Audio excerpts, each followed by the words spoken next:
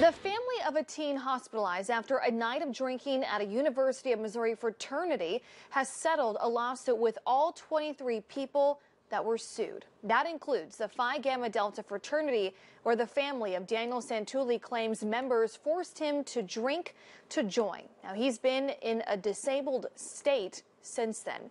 ABC 17's Layla Mitchell is live from the Boone County Courthouse, where she saw the family settle that suit today. Layla. Deb, although the family is still facing a lengthy and a costly hospitalization, there was some relief today when they were able to tell the court that out of all 23 people sued, all of them have approved settlements. Prior to the hearing today, only 20 out of the 23 people had approved settlements. Since filing the case, the family's lawyer, David Bianchi, was able to get written the written police file and surveillance footage from the fraternity. Now, Bianchi said he plans to take legal action against some other fraternity members that have not yet been included in this. The family will now go in front of Judge Stephanie Morel, asking her to approve the 23 settlements. Once that is done, the case will be dismissed. Bianchi claims in October, members forced Daniel Santulli to drink a bottle of vodka in a short period of time and then used a funnel to pour beer down his throat.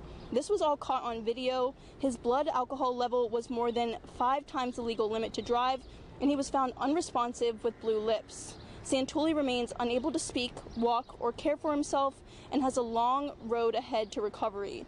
The Santullis have taken on more than a million dollars in medical bills knew exactly what they were doing. They knew they weren't supposed to do it because they were on probation. They knew that serving alcohol to pledges under the age of 21 is against the law.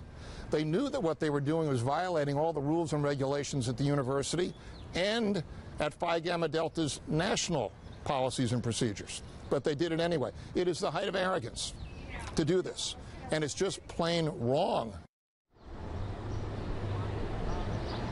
We reported last week that the university disciplined at least 13 of the students involved. Bianchi said he heard that at least two students have been expelled.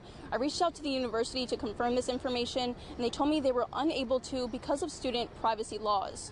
Now, MU police has asked the prosecutor's office to review the case. At this time, no charges have been filed. For now, reporting live in Columbia, Layla Mitchell, ABC 17 News. Okay, Layla, thank you. And Missouri has an anti-hazing statute. Bianchi says he's hopeful that this will be enforced in this case.